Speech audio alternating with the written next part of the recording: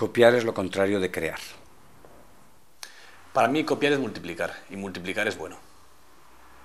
Creo que copiar significa no tener imaginación. Para mí copiar significa la génesis de la creación.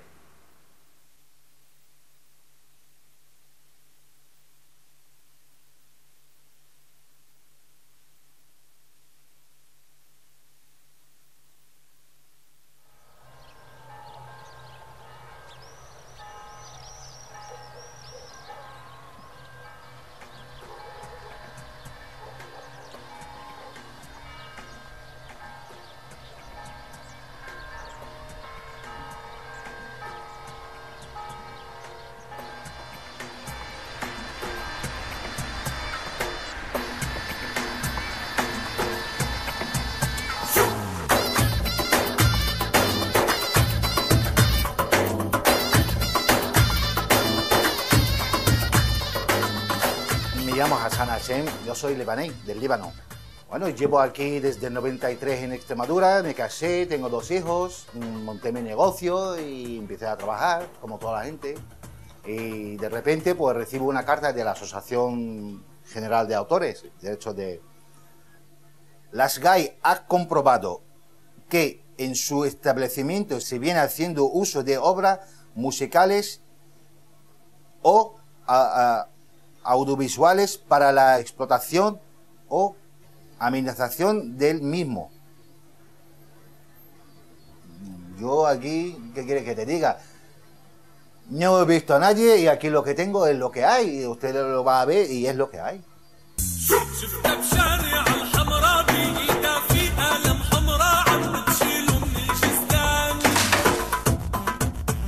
La mayor parte del negocio se dedica a la cocina. Y aquí tengo 2,70 por, por 2,90. eh, es el espacio para el público. Es comida para llevar. No tenemos instalaciones ni de cable, ni música de, digamos, de, fuera, ni altavoces, ni lo único que tengo es un radio casero, un mini, mini CD de estos chiquititos, casero. Y es el que tengo en la cocina. Y el único tipo de música que se escucha aquí, música árabe, música libanesa. Esta música la traigo yo de mi tierra. Cada vez, cada vez que se vaya mi hermano, o voy yo, o me entero que alguien viene y trae música, pues o me lo graba, o me lo manda, o me lo vende, o lo que sea, pero siempre, siempre he hecho de música así.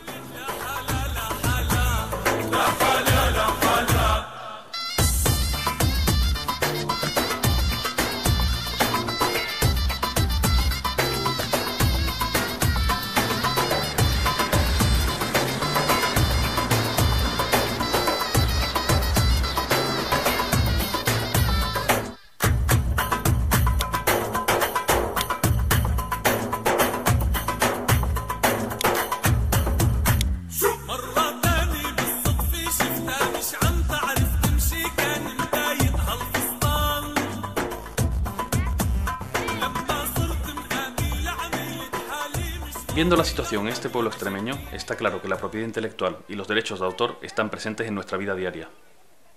Nuestro proyecto consta de este documental y de un blog en internet donde vamos a ir narrando el desarrollo de la producción y donde vamos a colgar las entrevistas íntegras.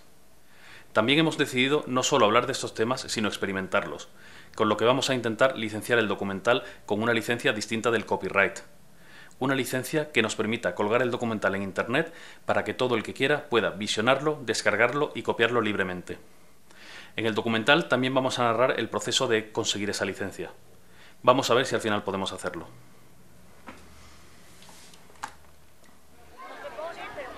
Volvemos a Montijo, el pueblo que se ha situado a la cabeza en la lucha contra las GAE. Desde ADEMIC, la Asociación Local de Comerciantes, se llevan a cabo una serie de iniciativas de información y defensa de los hosteleros. Este cartel es el que hemos hecho nuevo y hay que, hay que, hay que sobre todo incidir en, en los empresarios que pidan el cartel que este párrafo es importante. De los equipos de reproducción disponibles son propiedad de la empresa, que hace uso privado de los mismos y que no están sujetos a remuneración alguna por parte del público.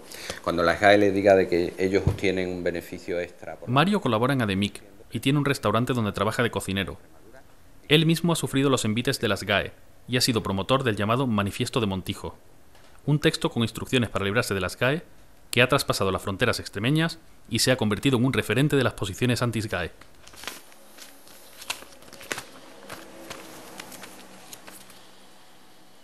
haciendo uso del repertorio de Jai, ¿vale? La calzada.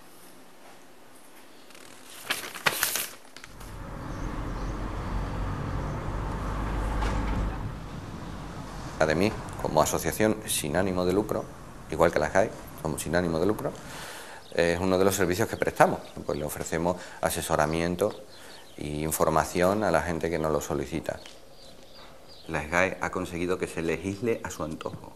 O sea, se han creado ley para beneficiar a este grupo de personas, a los autores y, y editores, y no, y no precisamente a todos los autores y editores, sino a un grupo concreto privilegiado de autores y editores. Porque hay algunos que no aprueban. Entonces, lo primero que hay que tener en cuenta es que la situación es difícil, la pelea es difícil y que hay que estar dispuesto a renunciar a muchas cosas para poder pelear con efectividad. Por toda España, asociaciones de empresarios, universidades y otras instituciones están empezando a cuestionar los pagos a las entidades de gestión de derechos.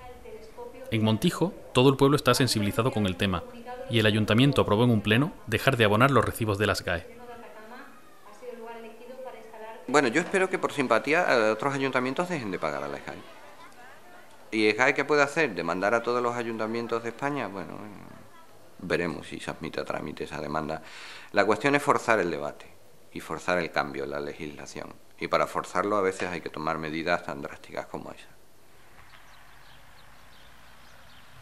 Todo el mundo ha oído hablar de las GAE, y a nadie le resultan desconocidos términos como canon digital, entidades de gestión o derechos de autor. Pero, ¿qué es exactamente la propiedad intelectual?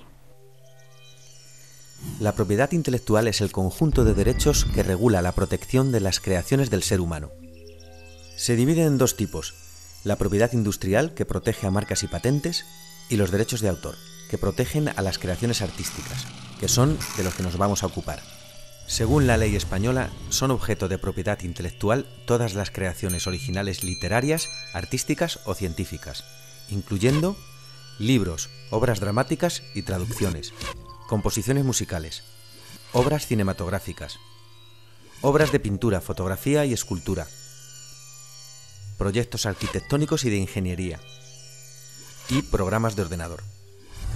La ley distingue distintos tipos de derechos de autor. Primero tenemos los derechos morales, que serán siempre del autor, como el reconocimiento de la autoría o el respeto a la integridad de la obra. También tenemos los derechos de explotación, que son transferibles, como los derechos de reproducción o los de difusión pública. La ley determina también la duración de esos derechos de explotación. Es lo que se conoce como copyright. Actualmente la ley reconoce la protección de una obra hasta 70 años tras la muerte del autor, pasando esta entonces a dominio público. ¿Pero de dónde vienen este sistema y esta duración?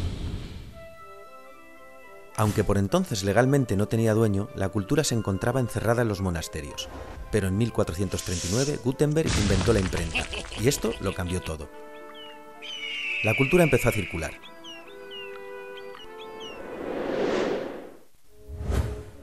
En 1710 llega la primera ley de propiedad intelectual, el Estatuto de Anne, que reconoce los derechos del autor sobre la explotación de su obra, pero también defiende los intereses públicos, obligando al paso a dominio público de la obra tras el periodo de protección.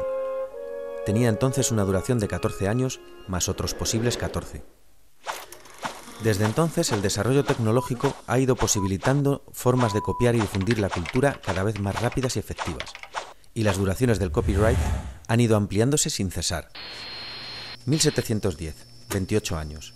1831, 42 años. 1909, 56 años. 1976, la vida del autor más 50 años. Y llegamos a 1998.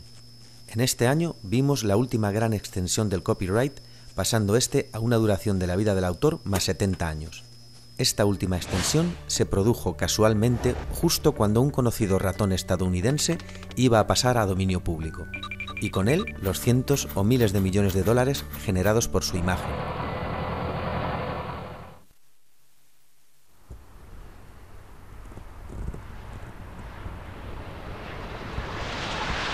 Para conocer los distintos tipos de licencias que existen, vamos a Barcelona a ver a Ignasi Labastida, profesor en la universidad y representante en España de Creative Commons, que es uno de los sistemas de licencias más conocidos del mundo. Ignasi nos va a ayudar a escoger la licencia adecuada para nuestra película. Eh, bueno, Ignacio, hemos venido porque queremos eh, el documental que vamos a producir, colgarlo en internet, que todo el mundo pueda descargárselo y copiarlo libremente.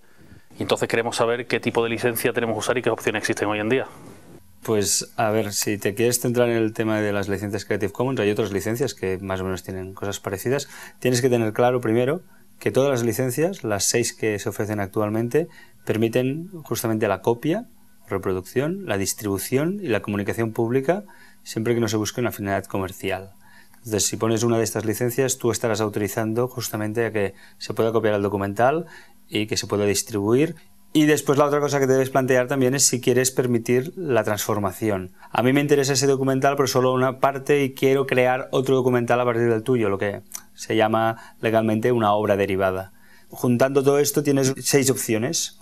Desde lo más restringido, no permitir obra derivada, no permitir usos comerciales, a lo más abierto que sería permitir cualquier tipo de uso comercial y permitir cualquier tipo de modificación. De hecho, la ley dice una cosa, que es que tú no puedes ceder derechos. Parece ser que Creative Commons es el camino a seguir. Para decidir una licencia en concreto y conocer los detalles del proceso, volvemos a Madrid, a consultar a Javier de la Cueva, abogado experto en propiedad intelectual.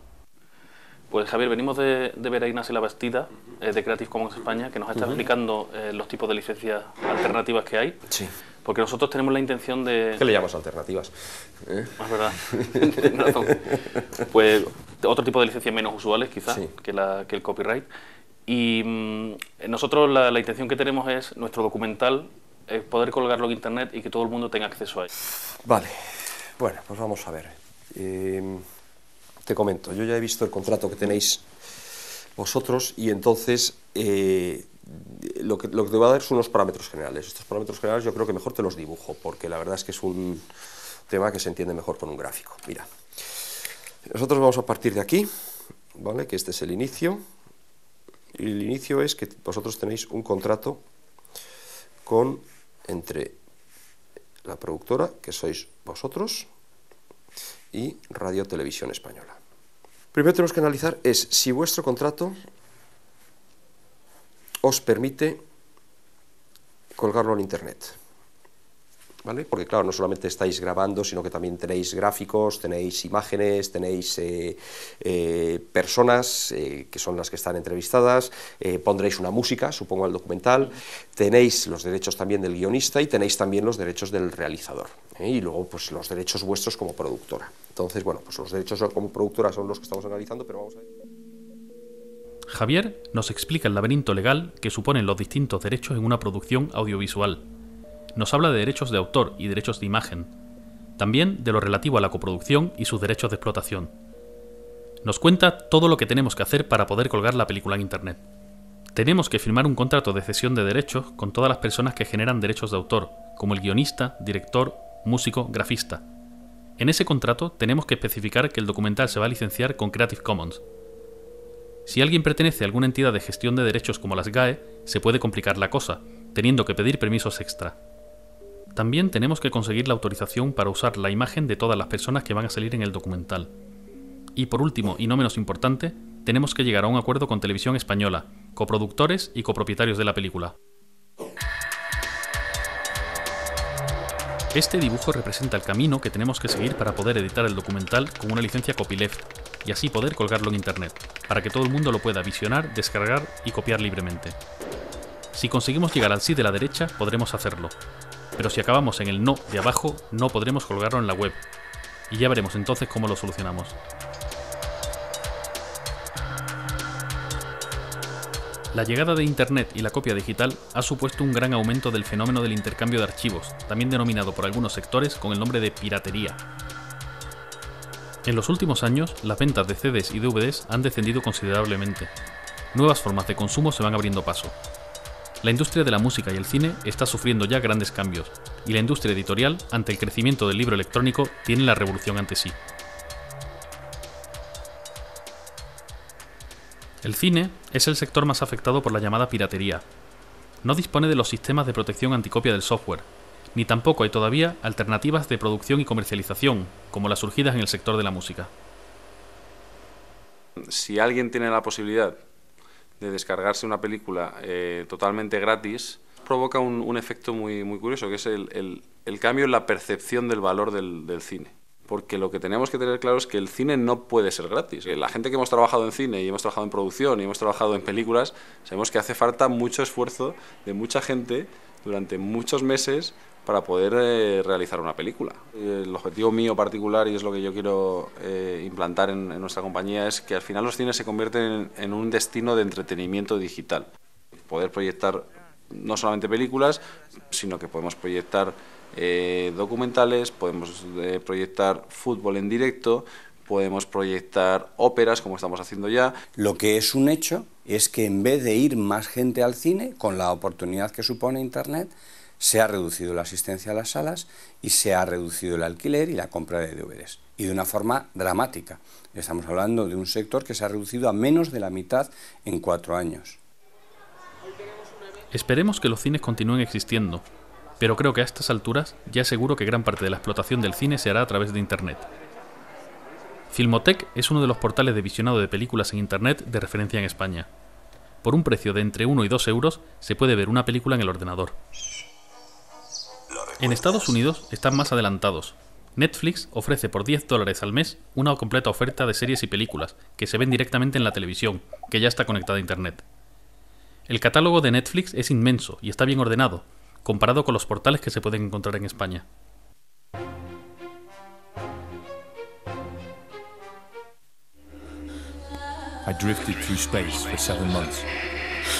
Lost. La producción cinematográfica se ha vuelto muy difícil. El modelo basado en exhibición en salas y venta de DVDs parece acabado, y los servicios de venta o alquiler de contenidos por Internet están empezando. Hacen falta nuevos modelos de negocio. Stan?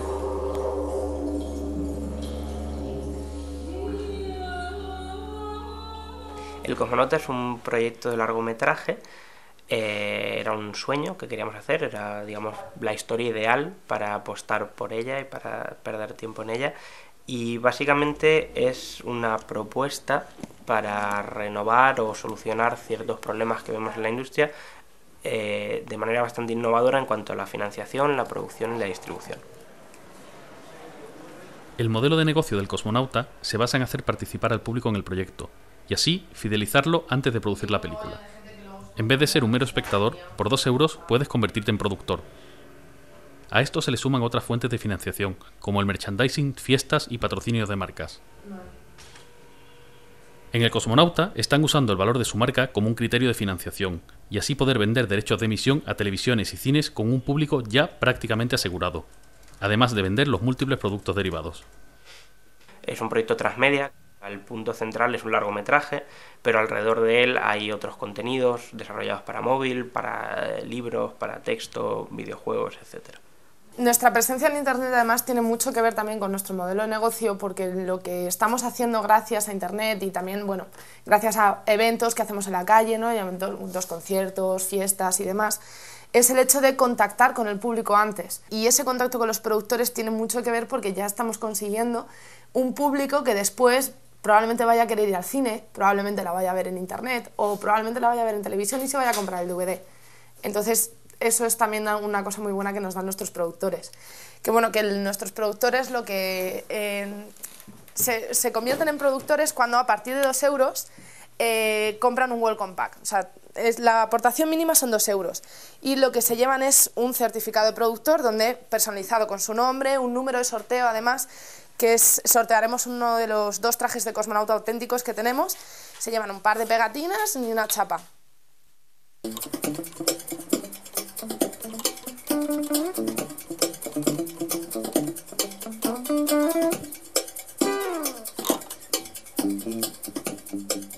Alfonso va a ser el músico de nuestro documental. Ha trabajado con nosotros los últimos 10 años y nos ha compuesto la música de 8 o 9 películas. Él está de acuerdo en colgar el documental en internet y gustosamente nos da permiso para usar su música, que estará también disponible en la red de una forma gratuita para todo el que quiera. A mí es que me parece lo más natural del mundo. ¿Sabes? Yo no, igual que, que que a lo mejor he, comentado que sí, que creo que alguna parte de mis derechos cuando están en un, en un como estamos hablando, en Telecinco y están poniendo una canción mía me tiene que llegar, veo igual de natural el que se hagan eh, trabajos, obras, creaciones para que estén directamente colgadas en la red y que, y que vayan por una vía directa y libre de pasar por la sociedad de autores o por ningún lado. Alfonso es músico profesional y además de componer bandas sonoras, toca la guitarra y actúa en directo con cierta frecuencia. Tiene tres grupos, Desechos, que es el más rapero, Wakame, de pop japonés, y también colabora con Mariam Hassan, una cantante saharaui. Como la inmensa mayoría de los socios de las GAE, Alfonso es un trabajador de la música y poco tiene que ver con las grandes estrellas. Ahora mismo no sabemos si el mismo Alfonso puede legalmente colgar su propia música en Internet, sin generar derechos de autor. Las GAE podría reclamar un pago a la página web que aloje los archivos. Según el contrato de coproducción que tenemos con Televisión Española, no podemos colgar el documental en Internet. Les hemos propuesto licenciar el documental en copyleft y les hemos enviado información sobre Creative Commons. Estamos esperando su respuesta. La vía del derecho a la propia imagen no parece problemática e iremos recabando permisos mientras grabamos. En cuanto a los derechos de autor, el realizador, guionista, la grafista y el traductor de subtítulos no son problema. Al pertenecer nuestro músico a las GAE, podríamos tener alguna complicación. Pues tenemos que hablar con el abogado.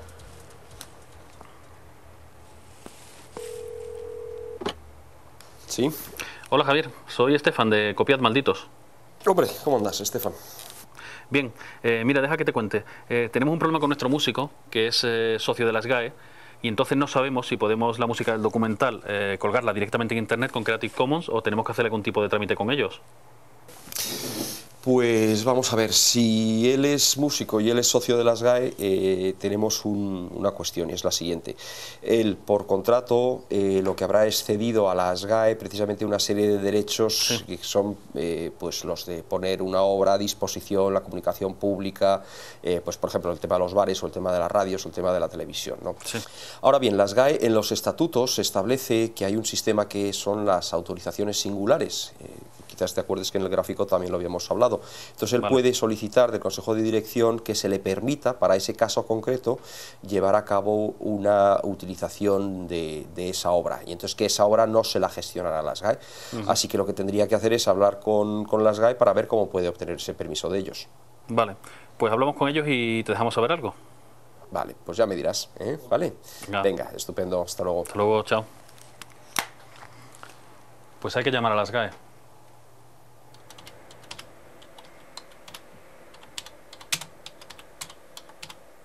Tras varias llamadas y una visita a las GAE, nadie en el departamento de socios sabe decirnos el procedimiento a seguir. Así que siguiendo las indicaciones de nuestro abogado, les hacemos una petición formal conforme a los estatutos de la sociedad.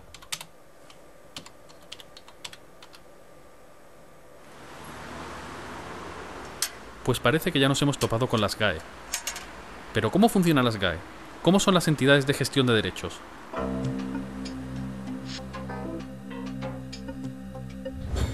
La ley de propiedad intelectual obliga a la gestión colectiva de los derechos de autor.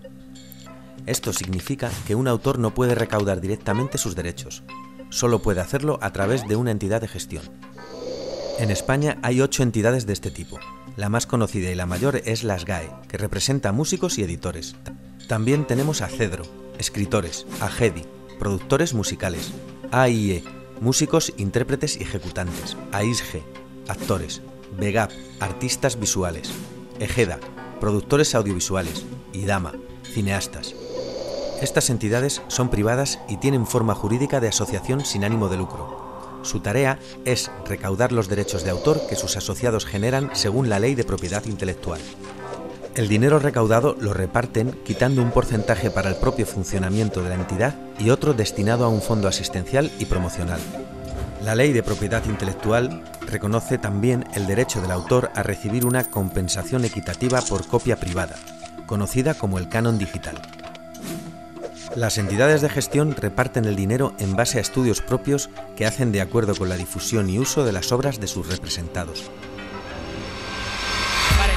Para escuchar la verdad del eufemismo de llamar canon al acto de robar. Y es que los artistas progres que son socios de las GAE los describiría como fascistas según la acepción de la RAE. Las GAE es la entidad de gestión más grande y más célebre.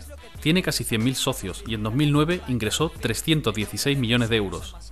En los últimos años, las GAE se ha convertido en el blanco de todo tipo de críticas y actualmente es una especie de archienemigo de activistas de la red, internautas e incluso algunos ayuntamientos y universidades que se han negado a seguir pagando.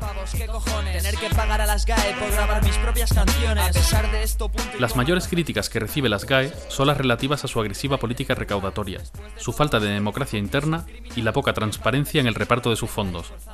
Pon ladrones en Google y verás lo que te sale. ¡Pum! Uno de los defectos que tiene el SGAE es que en los años 80, y creo Teddy Bautista reformuló el SGAE y introdujo los editores. Entonces, primer problema del SGAE que es un sindicato vertical. Y nosotros pensamos que autores tienen que estar de un lado y los editores tienen que estar de otro lado. Segundo problema que tiene es que antes en el SGAE se votaba, antes hablo de 1800, se votaba un- una persona un voto. En la actualidad solo vota, y esto no es ninguna broma ni ninguna propaganda, es, es cierto, solo vota alrededor de unos entre 7 y 10 mil personas, de 80 90 mil. ¿Qué es lo que pasa? Pues que entonces hay cerca de 100.000 autores que no todos son viven de su trabajo. Entonces lo que se ha hecho ha sido, pues como cualquier empresa que tiene acciones.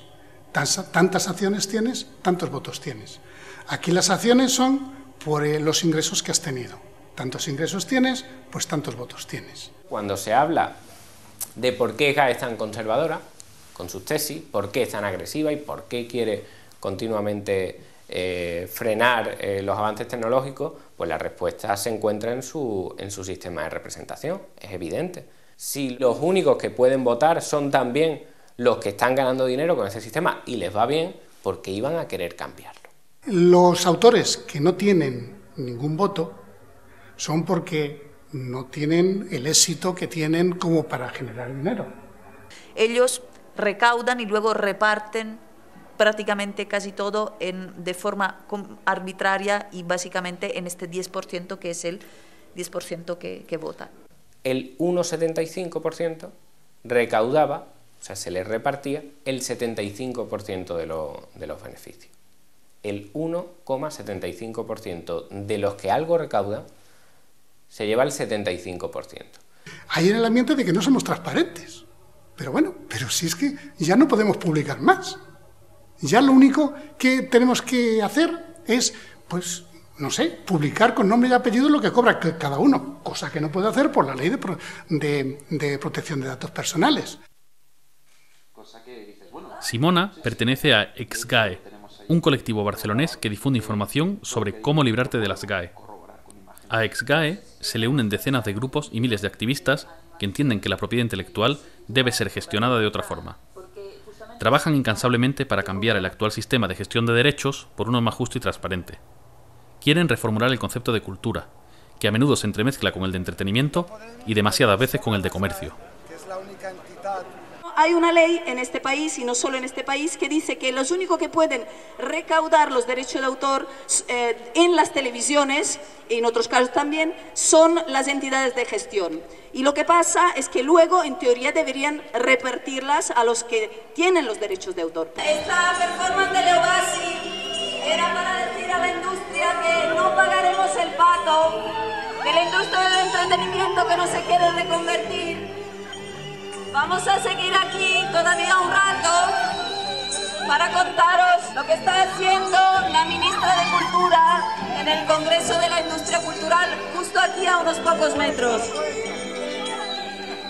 Hay que mantener esta libertad, no se puede parar la historia, no se puede parar eh, y, y- y- vivir de viejos privilegios. En este momento, la industria del- del- de la producción eh, de, de contenidos intelectuales eh, utilizaba antes el soporte del DVD, del CD o de, la- de los programas de televisión, eh, pero ahora esto se, se- vos por ahí...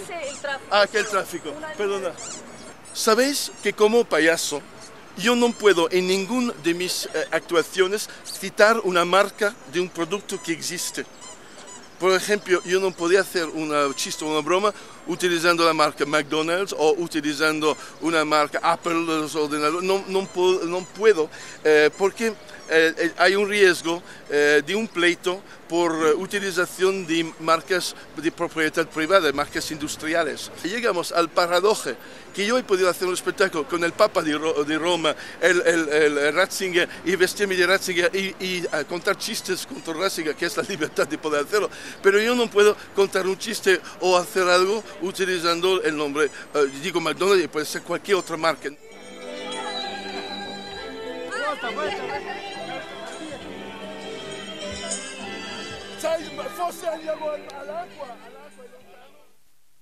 El juez, eh, que hoy en día es eh, magistrado en eh, la Audiencia Provincial de Madrid, Javier de la Cueva nos asesora legalmente. Es un abogado madrileño que trabaja defendiendo a personas o empresas demandadas por las entidades de gestión. Colabora estrechamente con David Bravo y ambos han defendido a multitud de web de enlaces y bares demandados por las GAE y otras entidades de gestión. Eh, tenemos el país más avanzado en sentencias de reconocimiento de los derechos de la cultura libre, por cuanto que somos los países además eh, iniciales en cuanto a la primera sentencia sobre copyleft del mundo. Tenemos además eh, unos jueces que han desarrollado perfectamente, porque lo han entendido de una manera estupenda, lo que es un enlace, y sin embargo lo que tenemos es un poder político que es ciego a lo que pide la sociedad Javier ha desarrollado un archivo público de procedimientos libres, donde comparte sus conocimientos sobre propiedad intelectual y publica de forma gratuita todos los avances y éxitos que ha tenido. David Bravo y otros abogados colaboran en esta tarea, y todos intercambian libremente sus experiencias. Es el copyleft aplicado al derecho. Es un derecho procesal distribuido. ¿eh? Entonces, de esa manera antes el conocimiento estaba concentrado, que era el que daba el poder, y ahora el conocimiento está distribuido. Entonces, mediante esa inteligencia colectiva, pues se pueden obtener muchísimos mejores resultados que lo que pudieran ser eh, una eh, persona que fuera la depositaria del conocimiento. Estos abogados también dedican parte de su tiempo y esfuerzo a divulgar. Es frecuente su presencia en medios de comunicación, charlas universitarias y centros sociales, donde explican su visión de la propiedad intelectual. Nos llaman para que demos información sobre nuestra actividad y, claro que vamos. Y en la Universidad de Málaga, pues igual, hay personas interesadas en eso. eh, si hay tipos que se dedican al copyleft y organizan eventos gratuitamente y lo hacen porque quieren ayudar a que se difundan estas ideas, pues si tú no cobras, yo tampoco voy a cobrar. Ahora que me llamas para que dé una conferencia en tu empresa y tal, te voy a cobrar. Que nosotros, Javier y yo, cobramos por los conciertos. ¿Quieres clase de propiedad intelectual? Te, te cobro. ¿Que quieres un juicio? Yo por moverme te cobro. ¿Por qué no te cobro? Por mis canciones. Tú tienes mis textos en internet. Mis conferencias te las puedes ver todas en internet. No te voy a cobrar por ninguna de ellas.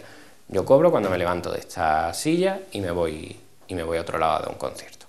Como digo que creo que deben cobrar los músicos.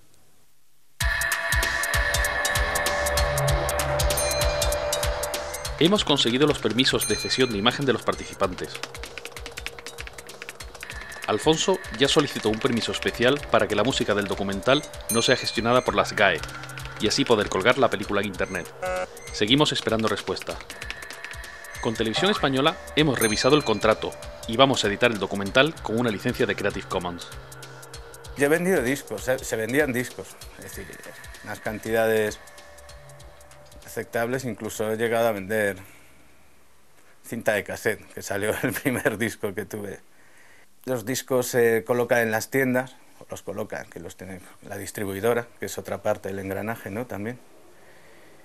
Y quitando en algún caso, se suelen devolver casi todos, en nuestro caso. Pero sí, sí, quizás por curiosidad, más que pues se baja música, se escucha. ¿Que cómo lo veo? Esa es la pregunta del millón. Yo veo que es algo imparable. Creo que es una cosa que imparable en el sentido que vivimos, en el mundo que vivimos y con la tecnología que vivimos. No creo que a millones y millones de chavales de 12 a 16 años y más les puedas eh, en cualquier lado del mundo convencer de que una cosa que tienen al alcance de la mano con un botón esté prohibida.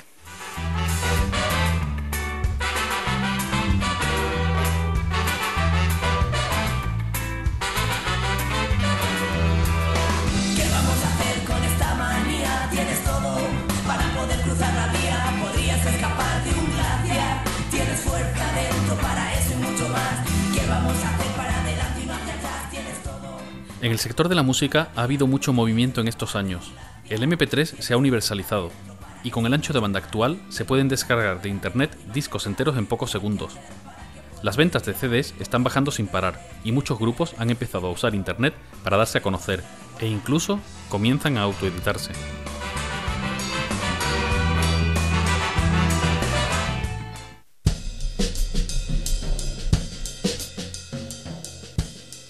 Mi oficina, mi net label, ¿no? mi sello. Y no hace falta mucho más. El ordenador, la conexión a internet y ahora lo he ordenado un poquito. La verdad es que normalmente esto está mucho peor, sobre todo por las cajas de los discos, que aquí tengo unas cuantas, las que necesito más a mano, si tengo que enviar algún disco. Aquí hay unas cuantas, pero como en todos los sellos pequeños, casi todo el mundo tiene cajas debajo de la cama, en casa de sus padres, en un armario maletero, porque claro, los discos la verdad es que los sacas, pero bueno, se venden poco. Y, y no se necesita mucho más, salvo echarle muchas horas, la verdad. Por un lado tengo la web del sello, donde voy alimentando cosas sobre los grupos, sus biografías, las noticias, demás. Y por otro lado, que me lleva bastante tiempo más, es una tienda online. Y luego también me dedico bastante a subir los discos, por ejemplo, a las TFM o a, a Archive o a, ahí donde veo que el disco va a llegar a más gente, bueno, pues lo, subo. Yo creo que las net labels están para otra cosa. Están para que la música llegue al mayor número de personas posibles y de la manera más barata posible. Y si esa manera es gratis, mejor. Pero no lo puedes ver como un negocio, no tendría sentido, porque para hacer negocio ya están ellos. Y si los grupos quieren hacer negocio, ya se van a buscar un contrato discográfico de una multinacional en que les dé dinero. Las discográficas grandes, las discográficas tradicionales, siguen usando esquemas del pasado. Y funcionan, pues eso, de una manera que, que Internet ha cambiado las reglas del juego. Entonces, se están quedando atrás, porque Internet te facilita a que una única empresa pueda hacerlo todo, y así es una net label. Una discográfica tradicional necesita de un distribuidor, necesita de una tienda y necesita de canales que conecten todos esos puntos de la cadena de la industria discográfica. Una net label lo hace todo, ella sola. No necesitas a nadie, sol- solamente necesitas el creador de la música. Intento moverme de una manera que sea también eh, coherente con mis principios. Y así se lo explico a los grupos. Cuando hay un grupo que me gusta mucho, yo les digo que yo les quiero apoyar, les quiero sacar, pero estas son las cosas de las que creo. Creo en el copyleft, creo en la autogestión y, y hacerlo todo con los mínimos recursos. Si les parece bien, pues genial, yo feliz. Creo en un mundo con unas, con unas compañías que ya no son discográficas. Creo que el cambio es no solo digamos, de definición, sino de, de concepto. Es decir, una compañía que basa su función en el disco ya no tiene sentido. La edición literaria se encuentra a las puertas de la revolución. Hay editores que llevan ya años publicando sus textos en Internet, donde se pueden descargar de forma gratuita. Paradójicamente, esto no perjudica su modelo de negocio. Traficante de Sueños es una librería asociativa, es una editorial, un proyecto editorial, es una alternativa de distribución, es un taller de diseño y es un espacio social. Editamos lo que consideramos que es interesante, lo colocamos a través de la distribución en los lugares que a nosotros nos interesa y llega al público que está más receptivo. O sea, desde que se puso en marcha las herramientas de licencias Creative Commons, ¿no? que en un primer momento, sin duda, son unas herramientas muy prácticas, para nosotros eh, iba implícito que mm, al utilizar estas licencias los textos estuvieran disponibles en la red. Para mucha gente lo que resulta incomprensible es eso, que tú estés eh, en el mismo día, digamos, que sale de imprenta los ejemplares de un nuevo libro y a la gente lo pueda descargar ¿no? en, en Internet.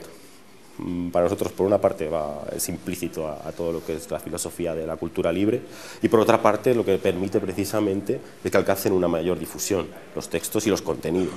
O sea que nosotros somos una editorial, una experiencia pequeña, editamos pocos ejemplares, sin duda alguna, pero la incidencia que están teniendo eh, los textos y el trabajo de, de algunos de los autores, pues les lleva a que les puedan traducir la obra, les puedan invitar a congresos, a encuentros y demás, y es gracias a precisamente la divulgación que se ha hecho de su material a través de Internet ¿no? y que no se hubiese logrado en el soporte físico.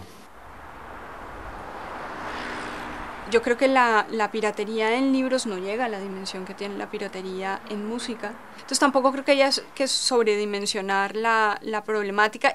Evidentemente la industria del libro en general eh, ha sufrido enormes y profundos cambios con, con, la aparición de Internet. Nosotros queremos ofrecer una, digamos, un catálogo como el que tenemos en papel en oferta digital. Nadie se apresura a demoler su casa, si es que finalmente hay que acabar demoliéndola. Nadie se apresura a restarse oportunidades y sobre todo nadie se, se apresura a reducir su beneficio a final de año. Por tanto, los grupos editoriales han arrastrado los pies, han dicho vamos a ver esto cómo va evolucionando y vamos a ganar tiempo.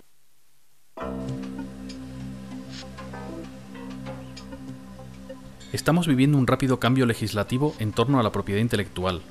Las leyes van más lentas que el desarrollo tecnológico, y la propiedad intelectual tiene cada vez un mayor peso en la economía. Se están desarrollando nuevas formas para reforzar el control. En España está en estudio una reforma de la Ley de Propiedad Intelectual. Además, la Ley de Economía Sostenible, también llamada Ley SINDE, contempla el corte a páginas web que supuestamente infrinjan la propiedad intelectual. Lo más polémico de esta ley es que los cortes se harían sin consultar con un juez. Pues evidentemente las leyes no responden a la situación actual. Luego ahí las, los, los, legisladores son los que tienen una responsabilidad. Lo que hacen los legisladores se traduce directamente sobre la forma de vivir que tienen los autores y la remuneración que tienen por el uso de, de sus obras. Y la ley SINDE eh, que se presta tanto a esta, se presta tanto al recorte de derechos fundamentales como el de libertad de expresión, sin embargo no, no conseguirá los efectos presuntamente pretendidos, que es que el intercambio de archivos eh, descienda de forma sensible. Yo creo que la única manera de, de, que, de, que, la industria detenga completamente la copia, ellos dicen ilegal, yo digo la copia libre en Internet, es convirtiendo Internet en un estado policial y por ende la sociedad.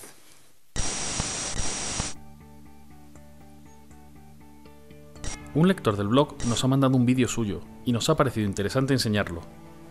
Seguidores, soy el Capitán Copia.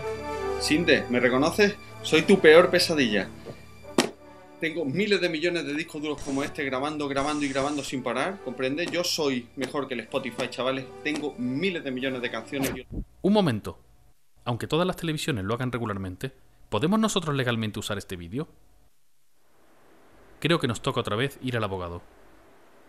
Para que tú puedas utilizar eso te tienen que constar bien claritos que la persona que te envía ese vídeo tiene los derechos para cedértelos a ti para que tú a su vez puedas meterlo dentro del documental. Y si no lo tienes, yo te aconsejo que no lo hagas. Y después hemos pensado viendo en televisión... Javier nos habla del derecho de cita, recogido en el artículo 32 de la Ley de Propiedad Intelectual, que permite el uso de ciertos materiales sin obtener el permiso previo del autor para labores de educación e investigación. Haciendo caso omiso de la ley, las televisiones usan sin reparo todo lo que encuentran en Internet para puro entretenimiento, no precisamente para educar e investigar. Hemos encontrado un vídeo en internet que nos tiene todos locos. Uh, eh, han juntado una canción de Encarnita Polo que no conozco ni yo, la que se llama Paco, Paco, Paco, de mi Paco, Paco, Paco. Con un videoclip de Beyoncé lo han juntado. Es una idea maquiavélica, pero encaja. Qué curioso. Mira, mira. Ya vienen por el llano los migueletes. Los migueletes ya vienen por el llano, ven acá primo y siéntate aquí. Esa recolección y transformación de cualquier contenido que se encuentre en Internet se ha convertido en un fenómeno habitual en nuestros días. Una nueva generación de jóvenes, ya nativos digitales, están acostumbrados a disponer de todo lo que encuentren por Internet, para verlo, usarlo, jugar con ello, transformarlo, remezclarlo y casi siempre para devolverlo otra vez a Internet. Es el caso de Pep, un joven catalán de 14 años.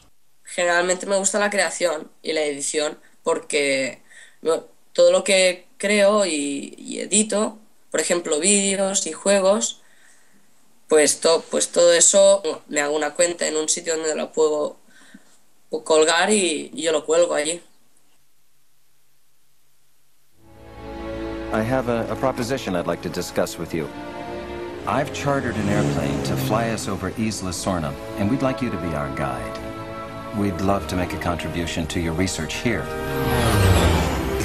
Cogí una idea, la de Jurassic Park. Primero me fijé en el, en el tráiler original y vi cómo estaba compuesto. Utilicé el Icon Animate y lo que cogí yo el sonido es el de la película, lo puse encima y lo que hice es coordinar las imágenes con el sonido.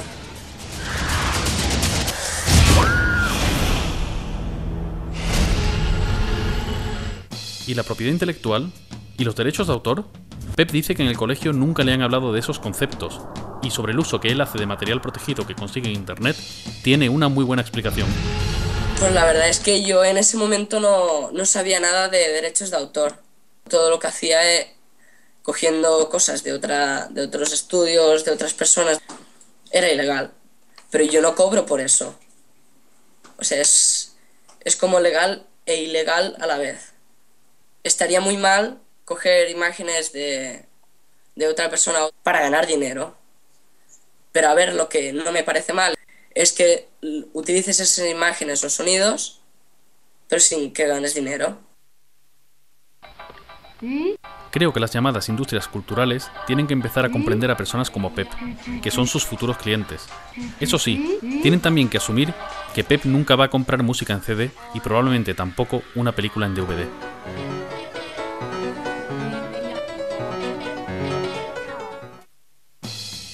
Para jóvenes como Pep, las entidades de gestión llevan tiempo diseñando campañas educativas para dar a conocer la propiedad intelectual. Como ellos la entienden. Educar para Crear es un programa educativo que hizo Cedro con otras instituciones mmm, dedicado a la escuela con el fin de que se incluyeran en el currículum de las escuelas eh, algún capítulo sobre derechos de autor de una manera fácil y sencilla. Si ves los vídeos de Educar para Crear que están ahí libremente expuestos, te das cuenta de cuál es la educación que se está dando. Eh, hay un vídeo donde el profesor pregunta, bueno, ¿y qué pensáis de, de la copia privada? ¿qué pensáis de la copia privada? Y dice un niño, que supongo que la respuesta era correcta porque para eso aparece en el vídeo, dice, no, no, no, me parece muy mal, todo original. ¿Parece bien el, eh, que los usuarios puedan hacer copias privadas? No, para nada. O sea, lo que tendría que ser es todo original. Resulta que la copia privada es un derecho que está en la ley y a estos niños, salvo que a ese se le pusiera de cara a la pared después de dar esa respuesta, se les está enseñando que ejercer ese derecho es malo. Es que esto ya lo que nos está dando es la moral de este tipo de gente. Es que no tienen ningún tipo de, eh, de mm, mirada hacia el otro. Es que les es igual, manipulan niños, manipulan personas, manipulan, da igual, todo por y para su pasta. Y no hay otra cosa en la vida que su pasta. Y es todo por la pasta. Entonces, vamos a ver, ¿pero qué sociedad podemos construir con estos señores que mandan? Yo soy el capitán clonado, dueño de todo, porque todo es mío. Tú has creado algo, me lo quedo. Tú has inventado algo, un libro, un videojuego, una canción, pues me lo robo. ¡Ah, ah, ah! Lo que hace se llama piratería. Esto es un acto delictivo. Vamos a ver, si desde hace 5.000 años a los niños les estamos obligando a copiar la caligrafía, ¿cómo ahora les vamos a decir que es que copiar es malo? Entonces, verdaderamente, ver a aquellos niños eh, siendo utilizados y diciendo yo soy pirata malo porque estoy copiando, pero ¿cómo se aprende a escribir más que copiando? ¿Cómo se aprende un idioma más que copiando? Original. Yo cuesto más barato, hasta no cuesto nada si me descargas de internet. Sé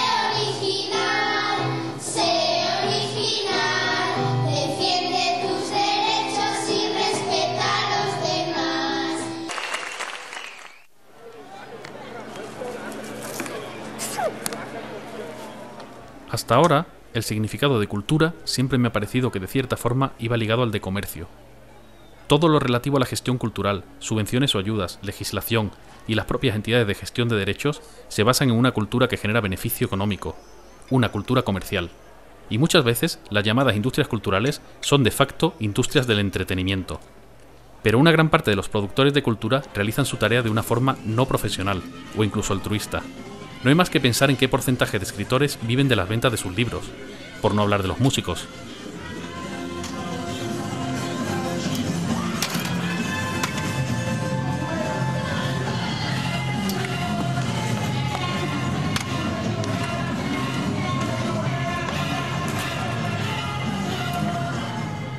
lo que se hace en las habitaciones de las casas, lo que se hace en la calle, lo que se hace fuera de las empresas, no sé, lo, lo, que, lo que hace alguien con una cámara doméstica en muchas ocasiones y lo sube a YouTube, eso muchas veces. También es cultura porque es un aporte que sirve para entender la sociedad, para atenderte a ti mismo, para explicar el mundo. Y la cultura es algo bastante más amplio que el mero mercado lo que pasa es que se confunden ambas con la pretensión de decir que si atacas a la industria, entonces a quien ataca es a la cultura. Si la gran multinacional es la gran perjudicada, yo siento mucho que se pierdan tantos puestos de trabajo, pero oigan, también se han cerrado muchos astilleros en España, también se han cerrado muchas minas, se han perdido muchísimos puestos de trabajo. Después de meses de llamadas, emails e incluso dos encuentros personales con el jefe de prensa de la Sociedad General de Autores, finalmente nos va a recibir el director de socios. Aún con todo lo que hemos oído en este tiempo de las GAE, todavía no sé si como guionista y director me puede interesar asociarme a ella. También tenemos que resolver el tema de la música original de Alfonso, a ver si podemos ponerla en internet, Hombre, yo creo que merece la pena pertenecer a la sociedad de autores por, por, la cantidad de servicios que como sociedad de autores somos capaces de prestarte. Los más conocidos son los de índole pecuniaria, que sea la forma que tengas de cobrar tus derechos. Caso concreto de esta obra y de esta... Al no tener todavía una respuesta al escrito que presentamos, pregunto directamente si Alfonso podrá gestionar los derechos de la música del documental al margen de las CAE sin que nos manden en unos meses una liquidación por los derechos de autor de las posibles descargas y visionados que haya. No sé bien la figura que es en el caso de... Te lo dice la SGAE que no lo haría, porque lo, lo único que te podrían enviar esa factura por las descargas seríamos nosotros, en primer lugar, pero también te diría que es que hay mucha leyenda negra en esto.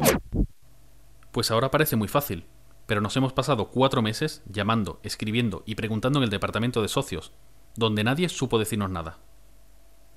Si tú mismo estableces que no quieres una limitación o que no quieres percibir los derechos de autor eh, en la web, eh, simplemente porque lo tengas en tu propia página, como productor o como autor, o lo tengas distribuido en distintas páginas donde es consultado, visto, reconocido.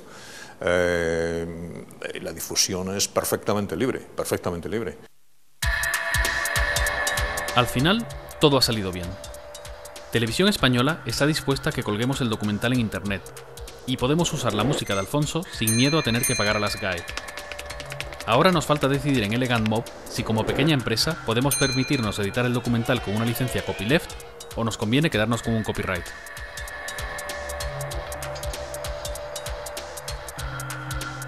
En cuanto a mí, las GAE no me ofrece la flexibilidad que yo desearía en la gestión de los derechos de mis obras, y no reconoce otro tipo de licencia que no sea el copyright. Tengo también alguna duda sobre los sistemas de reparto, y además nunca podría participar en las asambleas, con lo que nadie me escucharía. Las operaciones inmobiliarias más o menos relacionadas con el proyecto Arteria tampoco me hacen mucha gracia. Así que de momento no me voy a asociar a las GAE, aunque ello signifique que no voy a cobrar los derechos de autor que me correspondan no hay que ser alarmista, decir, uy, qué mal lo hemos hecho, esto se hunde, se acaba. No, se acaba, no. Seguro que cambia, seguro. Eh, pero acabarse no se va a acabar, porque la gente va a querer seguir eh, teniendo acceso a, contenidos culturales, sean películas, sean discos. Si no consigues eh, generar ingresos con la creación de una obra artística, no te vas a dedicar a ello. Nadie se va a dedicar a, crear a generar contenidos Estamos en un momento en el cual parece que el mundo se acaba, que no va a haber manera de ganar dinero con, con la cultura, pero yo no creo que sea así, yo creo que estamos en un momento de transición y que como toda transición llegará, llevará a un modelo nuevo, un modelo nuevo de explotación y un modelo nuevo de relación entre los creadores, la industria cultural y los, y los consumidores de información. Yo creo que Internet, que está creando problemas a otros niveles, como eh, la pedofilia y en otras cosas, pues bueno, pues está, o sea, no por el hecho de ser una nueva tecnología es buena, en algunos momentos pues habrá que normalizarlo. A estas empresas que lo que hacen es se dedican sistemáticamente a vulnerar los derechos fundamentales de los ciudadanos, lo que hay que hacer es quebrarlas económicamente, que no tengan recursos para seguir haciendo de lobby. Vaya, en música hay más música que nunca, ¿no? Hay más gente, más bandas, más gente tocando instrumentos. Pero vamos, yo creo que la música va, va hacia adelante y por mucho tiempo, claro. Pues al final casi lo hemos conseguido. De acuerdo con Televisión Española, vamos a licenciar el documental en Creative Commons y vamos a colgarlo en Internet para que todo el que quiera pueda visionarlo, descargarlo y copiarlo libremente. Nosotros en Elegant Mob pensamos que en este momento y en este caso es más positivo una distribución a través de Internet que proteger el documental con un copyright. Desde las tablillas de arcilla de Mesopotamia de hace 5.000 años hasta el último bestseller ya en el siglo XXI, siempre ha habido un escritor y un lector. Siempre habrá un autor y un espectador. Si algo he sacado en claro de toda esta historia es que la cultura nunca va a desaparecer, pero necesitamos que la propiedad intelectual se flexibilice y se actualice a los nuevos tiempos. Las llamadas industrias culturales y los intermediarios han ido cambiando a lo largo de la historia, y ahora con Internet toca otra gran evolución. Tenemos que entender que las cosas pueden cambiar, decrecer, evolucionar o incluso desaparecer, y eso no es algo que sea necesariamente malo.